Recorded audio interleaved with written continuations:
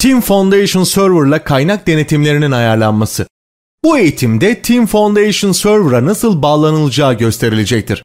Bu eğitim için CodePlex sitesinde örnek olarak oluşturulmuş bir proje kullanılacaktır.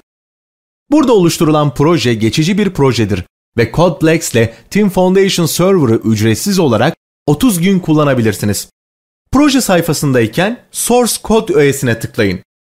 Source Control alanında bulunan Visual Studio Team Explorer öğesine tıkladığınızda sunucuya bağlanmak için gerekli olan bilgiler görüntülenir. Şimdi Visual Studio'yu açın ve File menüsündeki Source Code açılır listesinden Open from Source Code komutuna tıklayın.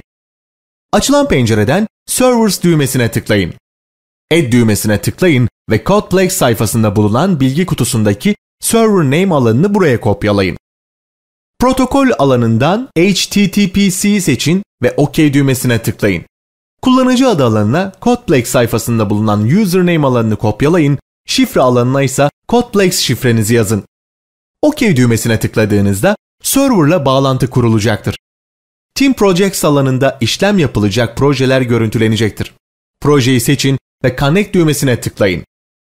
Sonraki videoda projelerinizi nasıl ayarlayacağınızı, yeni projeleri nasıl oluşturacağınızı, bunları kaynak denetimine nasıl yükleyeceğinizi ve versiyon kontrolünde bu dosyalarla nasıl çalışacağınız anlatılacaktır.